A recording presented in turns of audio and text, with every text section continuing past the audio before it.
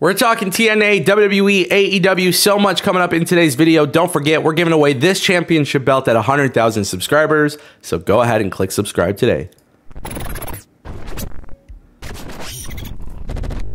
All right, everybody, welcome back to the Ango Show. Want to kick things off with Jim Ross. He revealed on his podcast that he's going to be taking some time away from AEW because uh, he's got to heal up his leg. He's been very public and very open about everything going on with his health. He says his doctor believes he should take a few weeks off. He's not sure how many.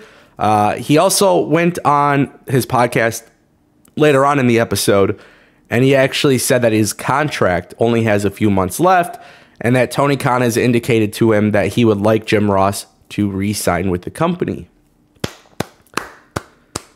Good. Jim Ross is needed there. Hopefully, Jim Ross, obviously, longtime veteran of the business, hopefully, one, he's healthy right? Health before wealth. Two, hopefully he's there. Whether he's commentator or not doesn't really matter. They have great commentators. I don't think that's an issue. I don't think that's a concern. But I think he needs to be there. Have him help them get on track. Tony Khan needs somebody there to help him. Jim Ross can be that guy. Simple as that. I want to turn our attention to the TNA video game. Yeah, TNA video game. Scott D'Amore was on the Real Wrestling uh, YouTube channel. He did an interview and uh, he spoke about the video game. Long story short, they're interested. They want to do it. It's probably not going to happen in 2024. Scott D'Amore is pretty open about the idea of getting back into the action figure and video game space. Obviously, makes a lot of sense. We know that TNA is coming back. We know it's like a new era for the company. We know they got some massive plans for the company. We know there's a lot of things that they want to do for the company, but he's pretty direct in the sense that in 2024, it's not going to be happening. He says it's something that's on their radar and they think it would be a good business decision. And then he also joked about how often he used to play wrestling video games back in the day. If you're a wrestling gamer, you know that right now it would be pretty damn awesome to have a TNA video game. And I'm not saying TNA needs to have like this massive developer, right? We don't need massive publishers and developers. There's great indie companies out there making great games. But the more options, the better. UPW, Wrestling Code, Fight Forever, WWE. Throw TNA into the mix, you're going to have a variety of wrestling video games to choose from, which is fantastic. More options is a great thing. I would also like to go as far as saying that with TNA launching a video game, let's say it's something that happens in 2025, 2026. That's a long time to wait. But if TNA allows their wrestlers to become DLC in other video games, that could be a massive win as well, which we're actually kind of starting to see it. Alex Shelley and Chris Sabin are DLC for UPW's Ultra Pro Wrestling video game, which is basically like a remix to WWF No Mercy. And I'm excited for that video game.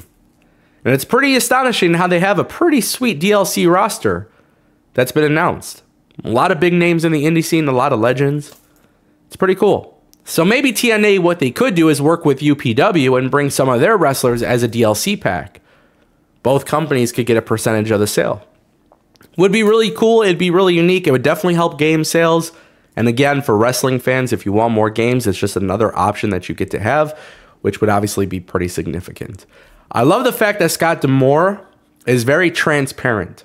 He is not lying to people. He's not telling people, yeah, we're going to do a video game. Yeah, we're going to do this. We're going to do that. And then obviously lie because that's not really in the plans. That's why TNA continues to impress me. They make the right business decisions, they give the right expectations to their fans, and that right there is truly important. And that brings us to our final to- uh, sorry, I lied. Not a final topic. We got two more. They kind of go hand in hand. SmackDown. Some major changes happening to SmackDown. Dave Meltzer noted on the Wrestling Observer Radio that SmackDown will in fact air West Coast live. They will air in the West Coast live for the very first time.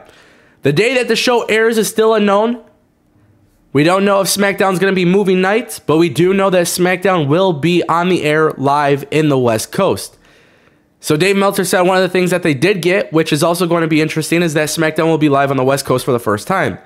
I don't think it's ever been live on the West Coast. So it's going to be airing from 5 to 7 on the West Coast, whether it's Friday night or another night seems remains to be seen.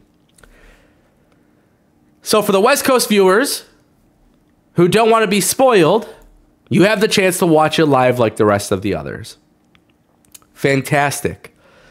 I'm going to assume that helps with television ratings as well.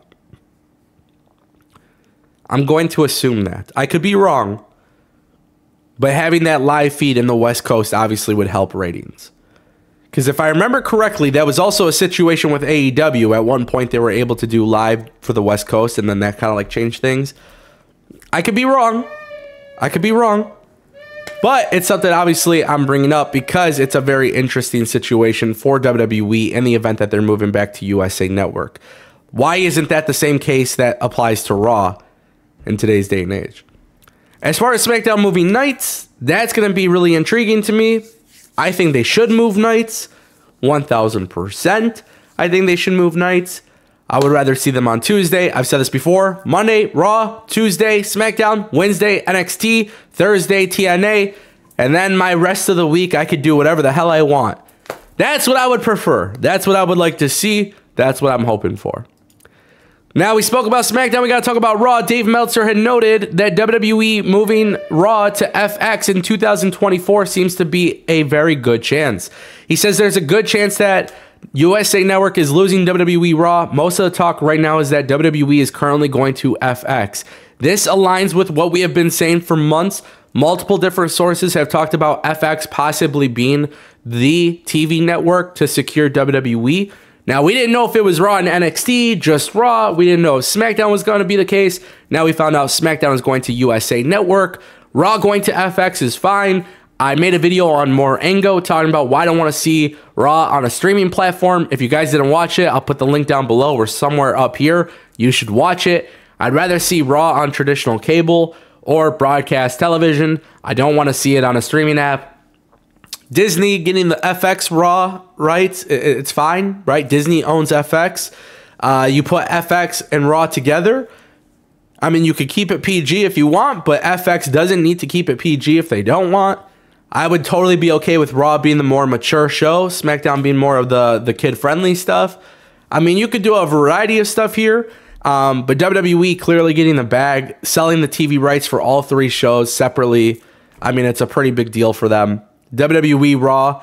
Uh, don't don't forget this, guys. WWE Raw, SmackDown, and NXT. They're all expected to shake up the presentation once the new TV deals kick in. That might mean new logos, new ring aprons, new everything, new graphics, new banners. That's gonna kind of be like their reset, possibly even new stages. So I'm excited about all the things that are yet to come. I want to know what you guys think down below. Don't forget, I'm giving away this championship belt at 100,000 subscribers.